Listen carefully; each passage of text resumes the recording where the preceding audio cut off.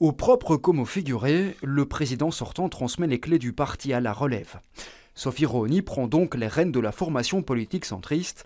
Son premier objectif, apaiser les tensions au sein de Défi et surtout se concentrer sur les élections communales. Je mesure l'immense responsabilité qui m'a été confiée par les militants, mais aussi l'immense complexité de la situation dans laquelle on se trouve. Le premier défi, ça sera vraiment de rassembler, de fédérer toutes les forces vives derrière le projet de défi pour vraiment sortir de cette défaite collective du 9 juin dernier pour pouvoir conserver notre ancrage local lors des prochaines élections. Le challenge est donc de taille. L'ex-députée fédérale semble en tout cas avoir fait l'unanimité. Elle a récolté 79% des voix. Là, je crois, le bon tempérament, à la fois pour euh, conserver, préserver ce qui marche, parce qu'il y a tout de même des choses positives qui ont été faites. Je pense notamment à la clarification de la ligne, à la question des valeurs.